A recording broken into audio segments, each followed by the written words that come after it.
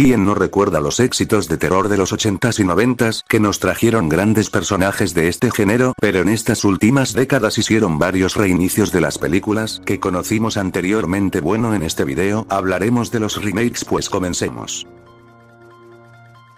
Muchos se preguntarán qué es un remake bueno, es una nueva versión o reinicio por así decirlo de una adaptación o película, conservando los mismos personajes y la misma trama.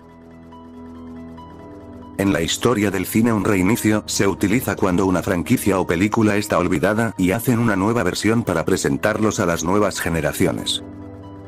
Tras esto nos trajeron buenas películas, como fue Halloween de Rob Zombie estrenada en el 2007 que para mí es el mejor remake de terror pero algunas veces vienen mierdas como Leprechaun el origen.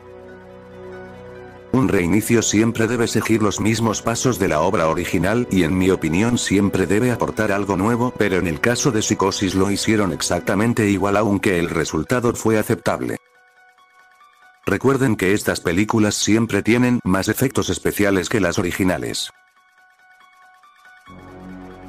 Varias personas odian los remakes debido que siempre hacen algo mal por ejemplo en Pesadilla en la calle Elm del 2010, no escogieron un buen actor para Freddy Krueger.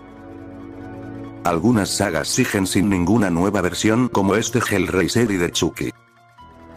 En otros casos el remake no solo incluye el film original, sino usa algunas secuelas como fue en el caso de Viernes 13 del 2009, que utilizaba la primera, segunda y tercera película de su saga.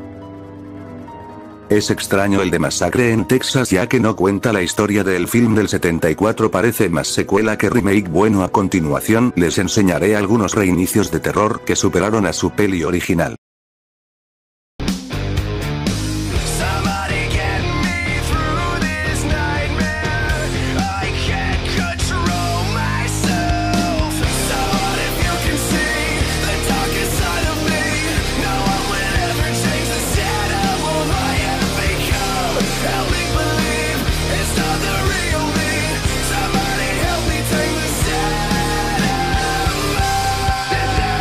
Y bueno terminamos con el video de hoy. No olvides dar like compartir y suscribirte para ver más contenido. Nos vemos para otro próximo video. Chao.